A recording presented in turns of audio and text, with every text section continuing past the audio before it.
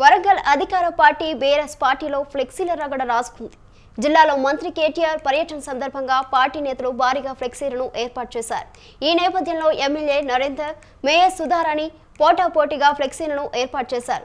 అయితే deputy mayor ఫ్లెక్సీలతో పాటు MLA ఏర్పాటు చేసిన ఫ్లెక్సీలను గుర్తు తెలియని వ్యక్తులు తొలగించారు. మరోవైపు ఎంపీ రవిచంద్ర ఫ్లెక్సీలపై మరో వర్గం ఫ్లెక్సీలను కడుతుండగా కార్యకర్తలు అడ్డుకున్నారు. దీంతో సొంత పార్టీ కార్యకర్తల్లో వివాదం చెలరేగింది.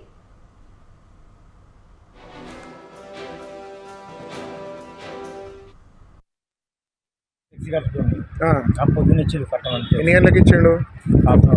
ఎవరు ఇచ్చిండు? ఏ డిజిటల్? గోపి డిజిటల్లో తీసుకున్నావు ఎవరిది ఇది? ఎవరు నీకు ఎవరు ఫోన్ చేసిండు కట్టమని? ఆయన ఎవరు? ఎవరి పిఏ? నన్నపల్లి నరేందర్ అన్న వాళ్ళ పిఏ. మరి ఆల్రెడీ ఉన్నదన్నా అని చెప్పేసి నువ్వు చెప్పలేదా ఫ్లెక్సీ? ఇంటికాంచెల్ డైరెక్ట్ అటే పోయినా. అటే పోయి తీసుకొని వచ్చిన. ఇప్పుడే తీసుకు